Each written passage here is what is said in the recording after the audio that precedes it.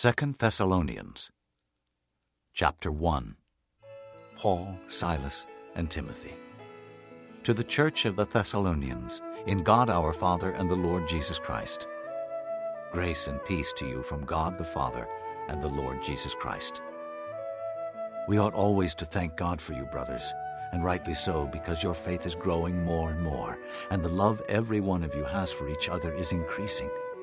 Therefore, among God's churches, we boast about your perseverance and faith in all the persecutions and trials you are enduring. All this is evidence that God's judgment is right, and as a result, you will be counted worthy of the kingdom of God for which you are suffering. God is just. He will pay back trouble to those who trouble you, and give relief to you who are troubled, and to us as well.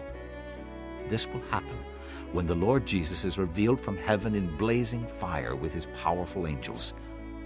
He will punish those who do not know God and do not obey the gospel of our Lord Jesus.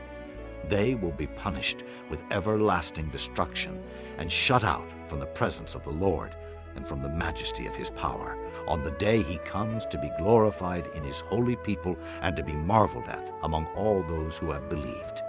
This includes you because you believed our testimony to you. With this in mind, we constantly pray for you that our God may count you worthy of his calling, and that by his power he may fulfill every good purpose of yours and every act prompted by your faith. We pray this so that the name of our Lord Jesus may be glorified in you, and you in him, according to the grace of our God and the Lord Jesus Christ.